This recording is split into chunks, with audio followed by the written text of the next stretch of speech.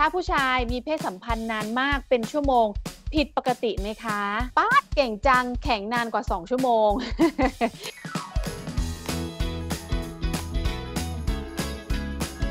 นานเป็นชั่วโมงนี้ปกติไหมนะคะ อันนี้ต้องดูว่านะคะเขาตั้งใจให้มีเพศสัมพันธ์นานอย่างนั้นไหมนะคะ เพราะบางคนเขามีการกลั้นไม่ให้หลังนะคะ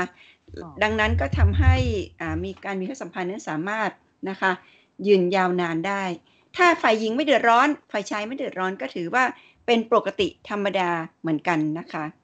ค่ะ ก็คือถ้าอย่างกรณีนี้น่าจะเป็นเพราะฝ่ายชายเนี่ยสามารถมีเซ็กได้ยาวนาน ฝ่ายหญิงก็อาจจะถึงจุดสุดยอด ได้บ่อยครั้ง 5-6 ครั้งนะคะ คุณแวมพร์เรืองนกทาบอกป้าดเก่งจังแข็งนานกว่า 2 ชั่วโมงนะคะ อันนี้ก็ว่ากันไปนะคะ บางทีเนี่ยบางคนแข็งนานๆ หรือว่ามีเซ็กนานๆ ถ้าหากว่าคู่ของเรามันลงตัวมันก็ไม่มีปัญหาเนาะแต่ถ้าหากว่าผู้ชายมีมีเซ็กได้ยาวนาน แต่ผู้หญิงอาจจะไม่ชอบอย่างเงี้ยก็เกิดปัญหาแล้ว